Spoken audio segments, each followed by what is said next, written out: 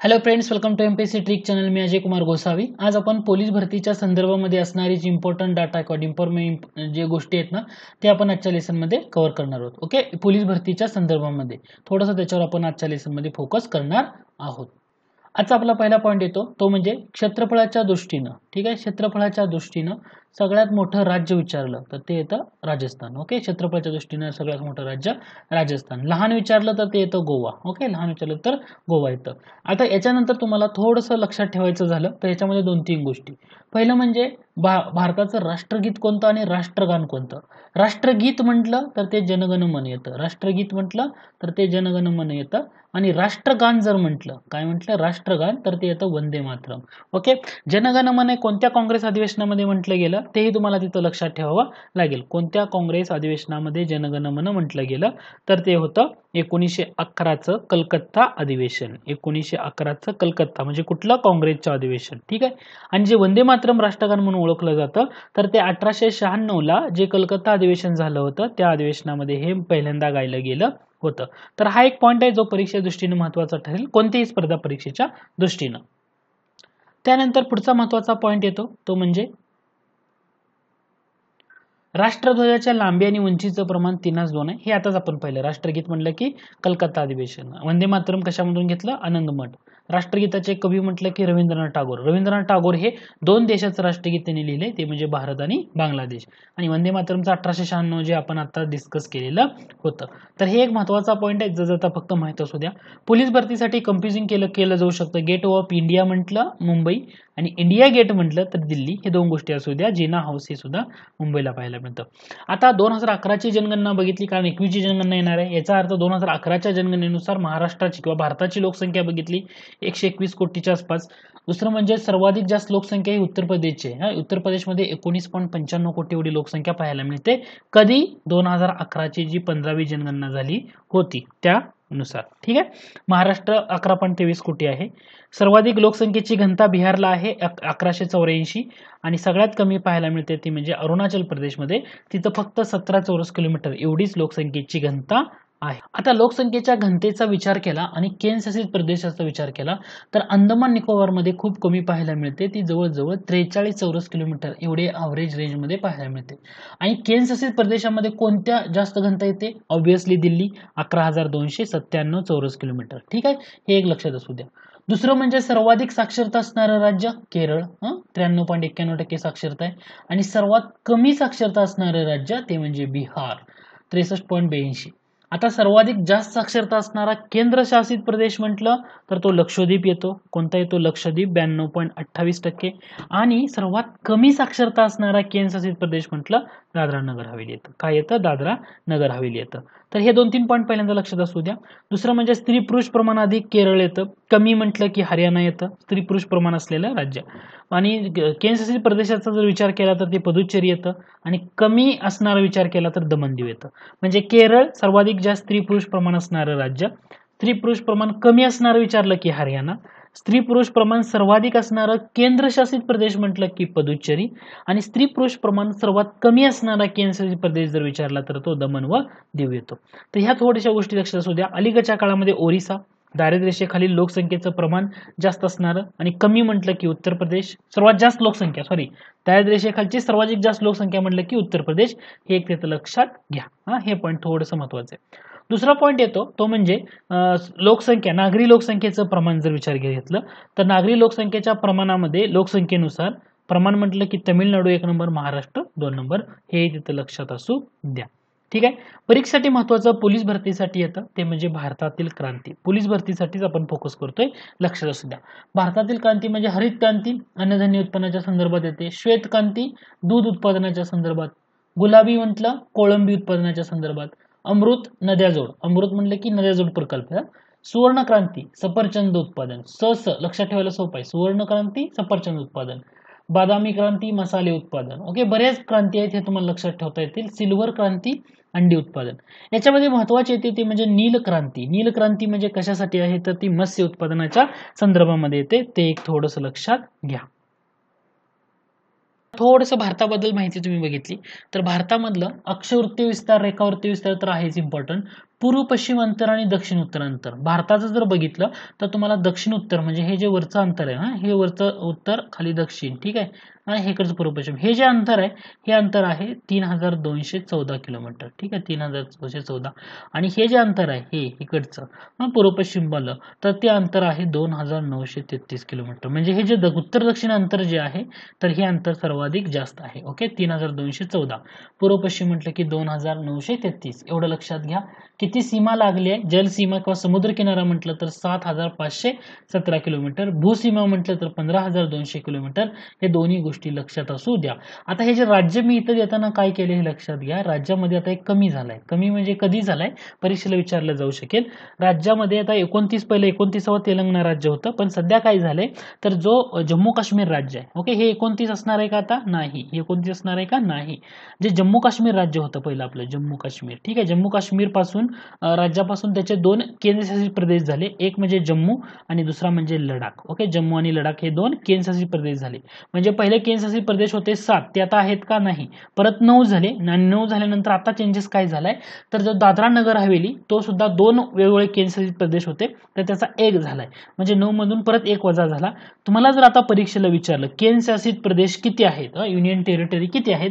तर त्याचं उत्तर येतं आठ. हे सात नाही. याचं उत्तर येतं आठ. आणि राज्य किती आहेत असं जर विचारलं राज्य.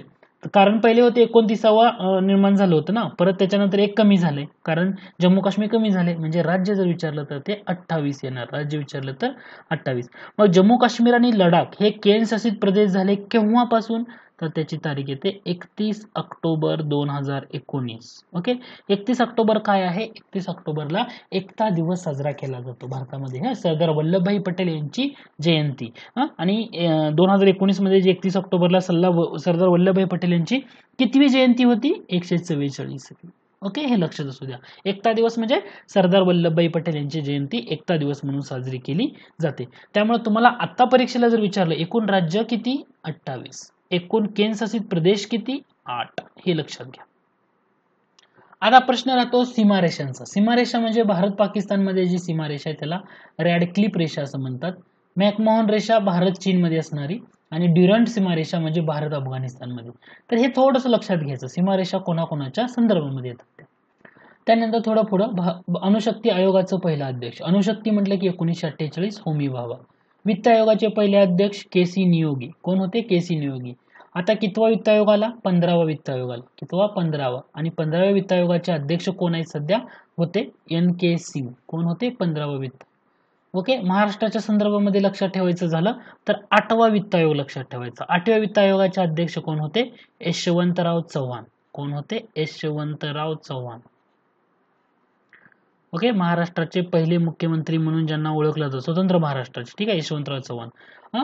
आता सध्या कितवा वित्त आयोग आहे? पंधरावा. ठीक आहे? के सी नियोगी पहिले वित्त आयोगाचे अध्यक्ष. आद्य क्रांतिकारक वासुदेव बळवंत फडके. हे? लक्षात राहतं.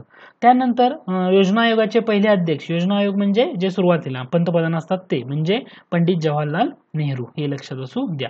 रिझर्व्ह बँकेचे पहिले गव्हर्नर कोण विचारलं? भारतीय गव्हर्नर चिंतामणराव देशमुख किंवा सी डी देशमुख असं त्यांना आपण ओळखतो. अर्थशास्त्रामधलं नोबेल कोणी जिंकलं पहिल्यांदा? अमर्तकुमार सेन. ओके सध्या चर्चेतले बॅनर्जी होते पण अमर्त कुमार सेन यांनी एकोणीशे अठ्ठ्याण्णवमध्ये भारतातलं पहिले. ओके रवींद्रनाथ टागोर. नोबेलचं पहिलं मानकरी विचारलं तर रवींद्रनाथ टागोर हो? एकोणीसशे तेरा साली. ओके लक्षात घ्या. नोबेल पारितोषिकाचे पहिले मानकरी म्हटलं की रवींद्रनाथ टागोर. आणि अर्थशास्त्रातलं म्हटलं की अमर्तकुमार सेन लक्षात घ्या.